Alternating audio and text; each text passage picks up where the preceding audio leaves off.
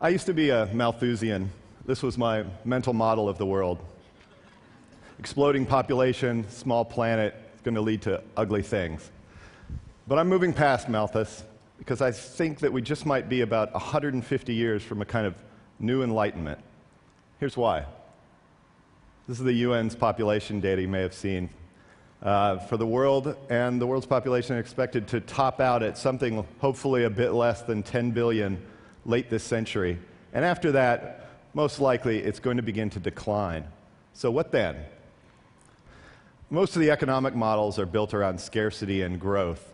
So, a lot of economists look at declining population and expect to see stagnation, maybe depression. But a declining population is going to have at least two very beneficial economic effects. One, fewer people on a fixed amount of land make investing in property a bad bet. In the cities, uh, a lot of the uh, cost of property is actually wrapped up in its speculative value. Take away land speculation, price of land drops, and that begins to lift a heavy burden off the world's poor. Number two, a declining population means scarce labor.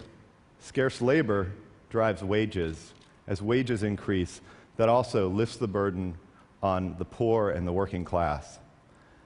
Now, I'm not talking about a radical drop in population like we saw in the Black Death, but look what happened in Europe after the plague rising wages, land reform, technological innovation, birth of the middle class.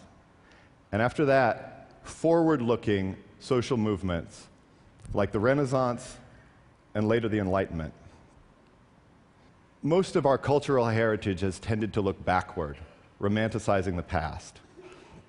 All of the Western religions begin with the notion of Eden and descend through a kind of profligate present to a very ugly future.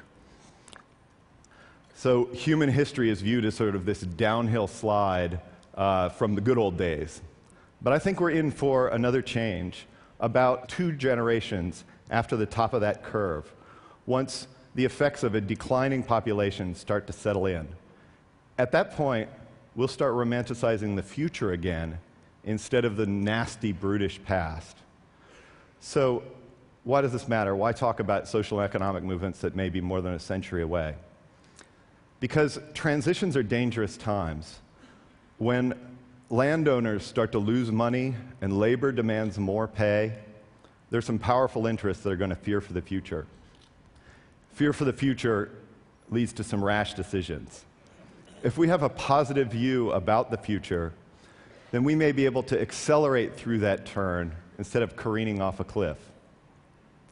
If we can make it through the next 150 years, I think that your great great grandchildren will forget all about Malthus, and instead, they'll be planning for the future and starting to build the 22nd century Enlightenment. Thank you.